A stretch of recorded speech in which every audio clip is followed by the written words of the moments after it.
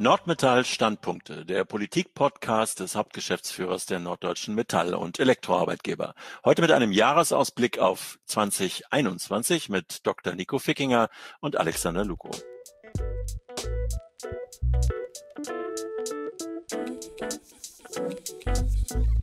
Herr Dr. Fickinger, das Krisenjahr 2020 ist zu Ende. Wird 2021 nun auch für die Metall- und Elektroindustrie ein Hoffnungsjahr? Ja, wir hoffen natürlich, dass es äh, in 2021 trotz des neuerlichen Lockdowns jetzt möglichst schnell wieder nach oben geht. Und es gibt ja auch erste Hinweise, erste Meldungen, dass wieder Zuwächse bei Umsatz, bei Aufträgen verbucht werden. Aber ich kann nur davor warnen, diese überzubewerten. Man muss das immer in der Relation sehen was demnächst hoffentlich wieder aufwächst, das wird bei weitem nicht ausreichen, um den Einbruch wettzumachen, den wir in der Corona-Krise hinnehmen mussten.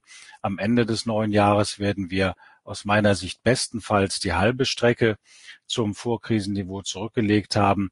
Echtes Wachstum in der Breite der norddeutschen Metall- und Elektroindustrie sehen wir also frühestens 2023.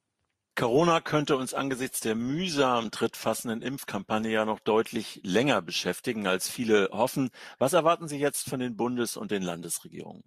Nun, wir hoffen, dass die Impfungen jetzt schnell anlaufen, dass sie sich nicht wegen Impfstoffmangel verzögern. Äh, und dann würde ich mich sehr freuen, wenn wir diese unsägliche Debatte über einen Lockdown äh, auch in der gesamten Wirtschaft, das heißt auch insbesondere in der Industrie, schnellstens beenden würden. Es muss im Gegenteil jetzt darauf ankommen, dass wir, und das sage ich ausdrücklich, nachdem die Sicherheitskräfte, das medizinische Personal, die älteren und die besonders verwundbaren Bürger geimpft wurden, dass wir also danach vor allem die aktiv Betroffenen impfen, denn das ist wichtig, um die Wirtschaft und damit auch die Versorgung mit Gütern aufrechtzuerhalten. Und wir sollten alles tun, dass wir auch an den Schulen so schnell wie möglich zu einem Normalbetrieb kommen, um auch die Eltern von ihrer doppelten Belastung durch Homeoffice und Homeschooling entlasten können. Die Tarifrunde in der M&E-Industrie hat am 14. Dezember ja hier in Hamburg begonnen. Am 18. Januar geht es zwischen Nordmetall und der IG Metall Küste weiter. Wie war die Atmosphäre bisher und was erwarten Sie? Die IG Metall Küste hat uns ihre Forderungen erläutert. Wir haben umgekehrt gesagt, wo uns der Schuh drückt. Es war insgesamt ein sehr ungewöhnliches Setting. Gerade mal eine Handvoll Teilnehmer saßen sich in gebührendem Abstand gegenüber. Der Rest war virtuell zugeschaltet. Aber trotz dieses sehr gewöhnungsbedürftigen Settings herrschte insgesamt eine gute, eine sehr konstruktive Atmosphäre. Für uns Arbeitgeber kommt es jetzt darauf an, dass wir in den nächsten Verhandlungen mit der IG Metall Küste vor allem über mehr Flexibilität in der Arbeitszeitgestaltung und in der Arbeitszeitverteilung sprechen und dass wir unseren Mitgliedsunternehmen, die jetzt wirklich jede Menge anderer Sorgen haben, nicht noch zusätzliche Kosten und Lasten aufbürden. Zumindest so lange, bis sie sich wieder aus der Krise herausgearbeitet haben. Hieran müssen wir jetzt als Tarifparteien arbeiten. Eigentlich könnte man ja von der Politik ähm, in diesen schwierigen Krisenzeiten erwarten, dass sie alles tut, um Lasten von der Industrie zu nehmen. Ist das so? Nein, leider überhaupt nicht. Ähm, während man im Wirtschafts- und auch zum Teil im Finanzministerium den Ernst der Lage erkannt hat und den Firmen mit Hilfspaketen unter die Arme greift, legt ihnen das Arbeitsministerium immer neue Steine in den Weg. Wir haben als Arbeitgeber in den zurückliegenden Monaten einen Abwehrkampf nach dem anderen geführt gegen einen Rechtsanspruch auf Homeoffice, gegen die Abschaffung der sachgrundlosen Befristung, gegen eine umfassende Regulierung von Werkverträgen. Und jetzt kommt absolut zur Unzeit mit dem Betriebsrätestärkungsgesetz ein weiterer Mühlstein hinzu.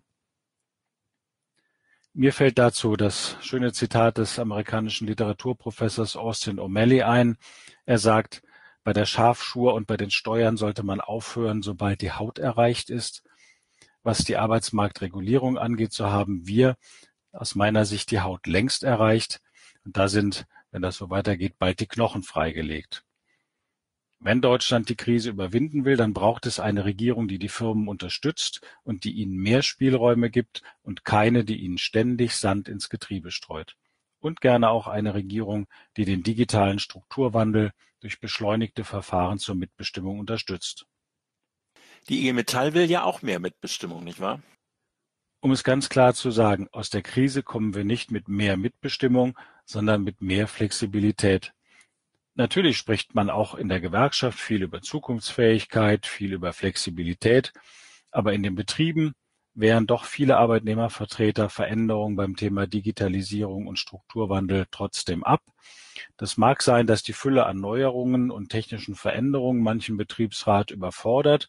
Vielleicht verängstigt sie ihn auch. Äh, wir stellen jedenfalls fest, dass auch vielfach online-basierte Schulungssysteme abgelehnt wurden, weil man eben befürchtet, die Mitarbeiter könnten dadurch überwacht werden. Was ist Ihr Appell an die Gewerkschaftler vor Ort und an die Politik im Lande? Mit einer so defensiven und ängstlichen Grundeinstellung kann man die Herausforderungen des strukturellen Wandels nicht bewältigen. Es kann nicht sein, dass die deutsche Mitbestimmung am Ende zu einer Blockade beim digitalen Strukturwandel führt. Denn dann werden die deutschen Unternehmen insgesamt abgehängt. Wichtig ist, dass wir den Betriebsrat, die Betriebsräte davon überzeugen, dass sie notwendige Veränderungen mittragen in schnellen und einfachen Verfahren. Hier ist auch eine Einigungsstelle im Zweifel viel zu träge.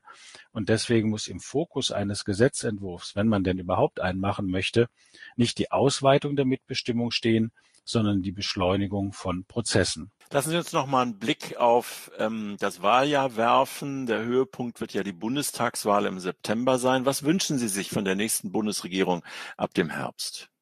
Wir wünschen uns weniger finanzielle, weniger bürokratische und weniger regulatorische Lasten. Einiges davon habe ich ja gerade schon genannt.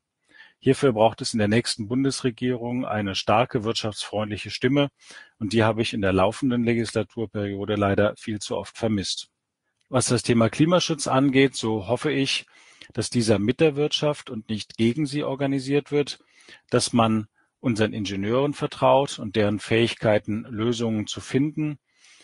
Das geht bei der, beginnt bei der Herstellung von grünem Stahl durch sauberen Wasserstoff, äh, über die Entwicklung von extrem schadstoffarmen Diesel bis hin zur Entwicklung einer neuen Generation von besonders leisen und emissionsarmen Flugzeugtriebwerken. Also hier sind wir schon gut unterwegs und hier könnte man noch überlegen, ob man diese Anstrengungen unterstützt durch staatliche Förderung, durch staatliche Anreize.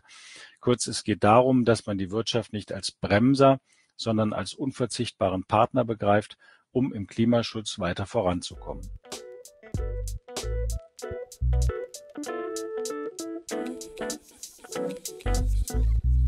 Vielen Dank, Herr Dr. Fickinger. Das waren Nordmetall Standpunkte der Politik Podcast des Hauptgeschäftsführers der Norddeutschen Metall und Elektroarbeitgeber.